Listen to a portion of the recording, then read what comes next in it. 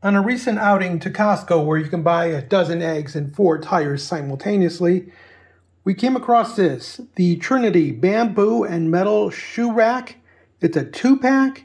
It measures 27 and a half inches wide, 11, almost 12 inches in depth, and almost 16 inches in height. They can be stacked side by side or one on top of the other. Let's take a look. Upon opening the box, we discover the owner's manual, some bamboo rectangles, a parts kit that includes dowel rods, some screws, and a tool to use the screw with. And then underneath it is the shelf itself with the metal bars and this really looks like there isn't much to assemble. Looks like we're just gonna have to attach that to this. This is what it takes to assemble one unit. You need your side frame, and note it has a round end, which is normally the top. But if you decide to stack two of these together, then you're gonna have a round end on the floor because this flat end gives you a place to put some dowel rods so that you can connect the other unit like so, and then the top of that would be rounded. But for right now, we're just assembling one unit. So we have rounded corners on top, screws, there's an opening that's been drilled out for you and you simply I'm going to put that screw in there, and that screw will connect right there. And there's another one up there. Then when you put on the top rack, that'll also mate here. So basically, you know, it's just a screw on either side of the frame, attaches to this, like so. And does this have a top or a bottom? Well, there's Trinity marked on one side. And if you look on the other side, there's some screws. Uh, so I would think you probably, even if you don't want to show the branding, it just looks prettier with the branding up because you're not showing any screws. Same thing for the top rack. Then the side rail, again, you have four screws and the two bottom ones made to the bottom rail, and the two top ones to the top top rail. Starting off on the right hand side, again, curved side is up. We put in the bottom rail, attach the screw, and that's initially you're just going to hand tighten. Put the screw on the other side, and again, you're going to hand tighten this. Now, the screw head is a hex, an Allen key, and there is one included with the kit. So you really shouldn't need any tools. You could get a, a drill driver to do it, but then you probably might strip something out because you don't need that much force to get these things to attach. Hand tighten it and then just use this to snug it up. With one side done, we come over to this end and we just repeat the same procedure.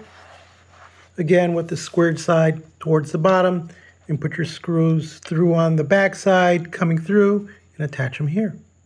With the right side attached to the rails and the left side attached, all we have left to do is to put the upper rail in place.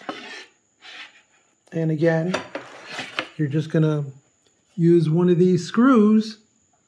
And oh, by the way, I just wanted to point something out that the screw is not actually going into wood, it's going into metal, which is nice. It gives it a little bit more strength and less chance that you'll strip something out.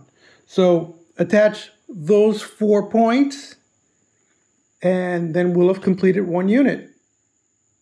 When fully assembled, it should look exactly like this. This will hold your shoes, your boots. It's not for sitting on.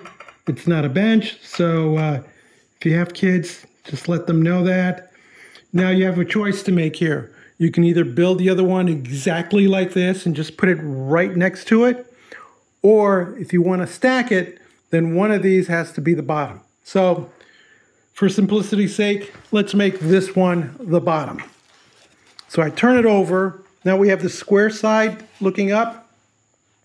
Now, of course, if we were going to make this the bottom, I probably should have turned these shelves over so I wouldn't see these screws.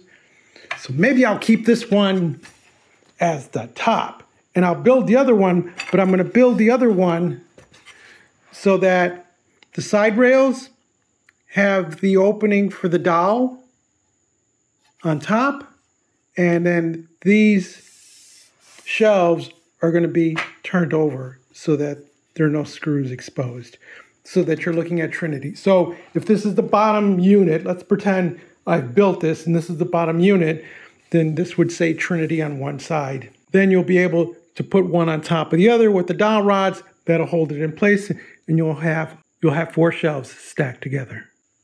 Voila!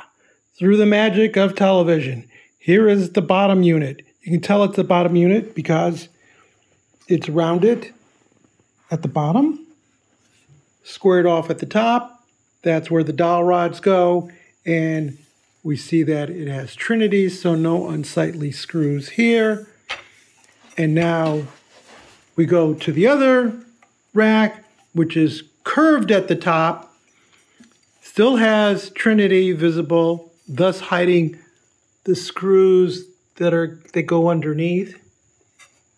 And now all we're going to do is put our dowel rods here and here, and that will mate with the holes down here and here on both sides, and then we'll have a double height shoe rack.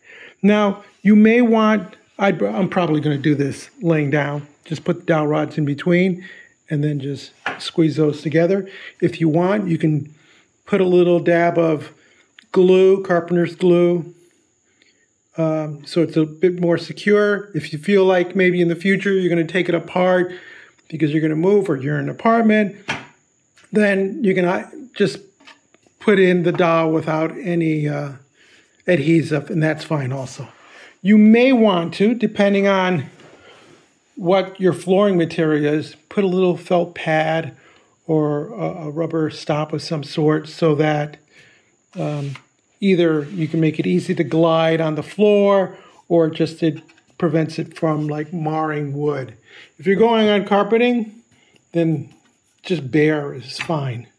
Here's a shot of all four dowel rods in place. And I just push those in with the palm of my hand. And now I'm just going to align them and squeeze that together.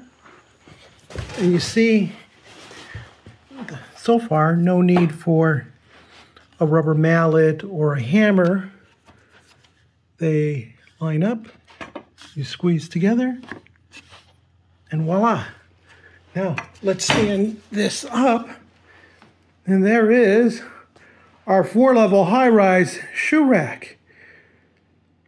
I really like this. This is, uh, again, bamboo with little metal bars in between. It's very light, and I think it's going to be very nice for holding a bunch of shoes that somebody needs to uh, take care of. Uh, the fasteners are metal on metal, which is great. Once they're in, they're hitting on the side. Nice finish. Uh, overall, I'm really happy with this Costco purchase.